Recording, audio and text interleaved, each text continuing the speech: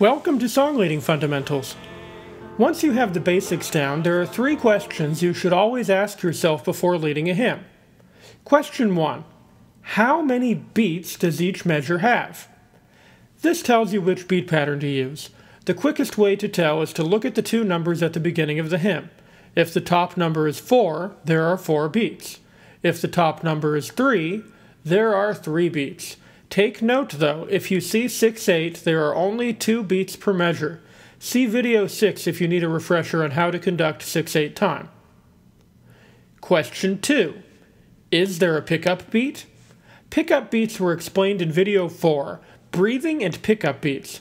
Not knowing a pickup beat is present might be the most common way a song leader gets confused.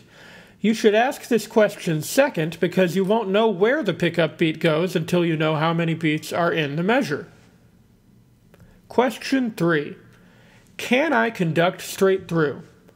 When using the recordings provided from headquarters, you will have to do whatever the recording does. So this is a question for when you conduct with a live pianist.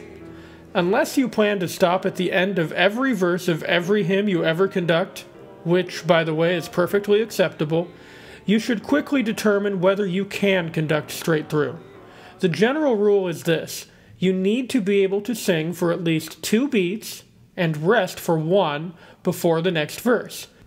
Here are a few examples of this reasoning in action. Page 1 Blessed and happy is the man.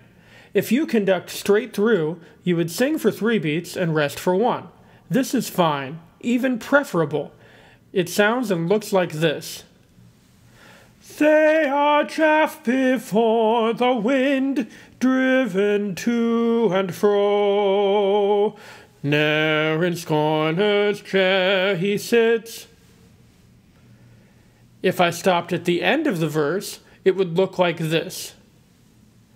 They are chaff before the wind, driven to and fro.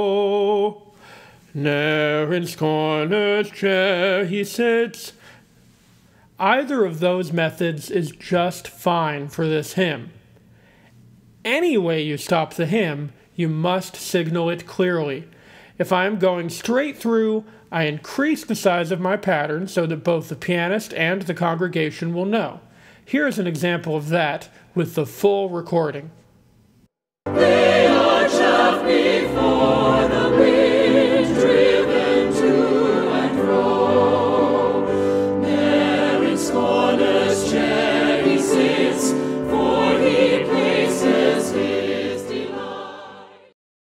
Let's look at another common hymn on page 90, Oh How Love I Thy Law.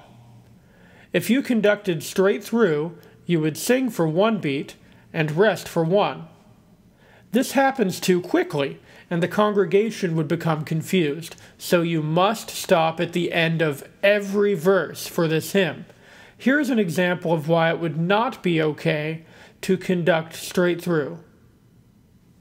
Thou hast given me wisdom by thy righteous commands. Oh, how love I thy law. You can see that I sing far too quickly on the word command for the congregation to keep up. Here is an example of it done correctly. Thou hast given me wisdom by thy righteous commands.